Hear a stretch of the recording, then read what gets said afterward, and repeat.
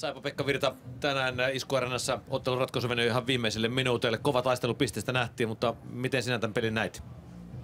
No joo, kyllä oli, oli kova, kova kotijoukko ja siinä mielessä ansaitsi voittoissa kyllä, mutta tota, annettiin myös itsellemme mahdollisuus voittaa. Että loppuviimeksi sitten kuitenkin erikoistilanteisiin ratkesi tämä peli kahteen Pelsun ylivoimaaliin. Me saatiin yksi ylivoima itse aikaiseksi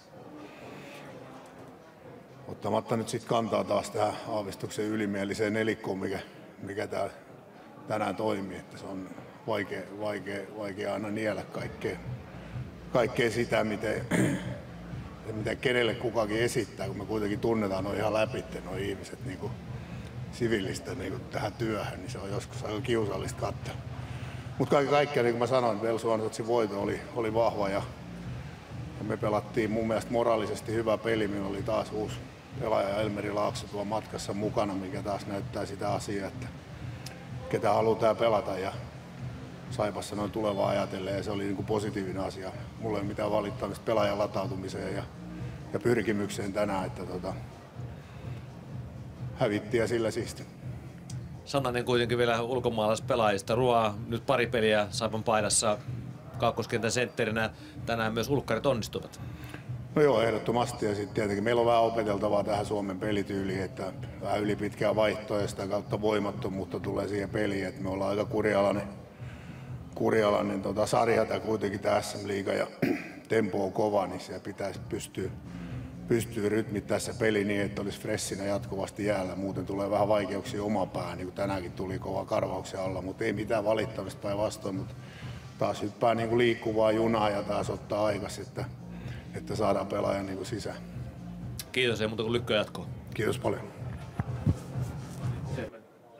Niin pelikanssa Tommi Niemelä iskuarenassa nähtiin huikea taistelu pisteestä. Pelikanssa tuli latautuneena peliin ja pisti heti täyden höngän päälle, mutta tiukassa pisteet olivat.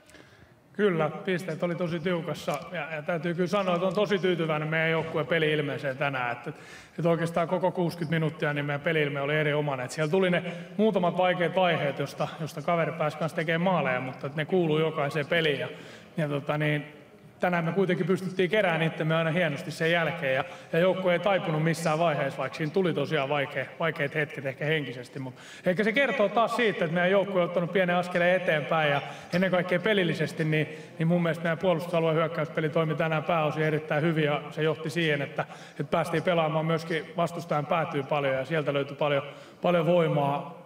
Mun mielestä oli hieno ottelu meiltä.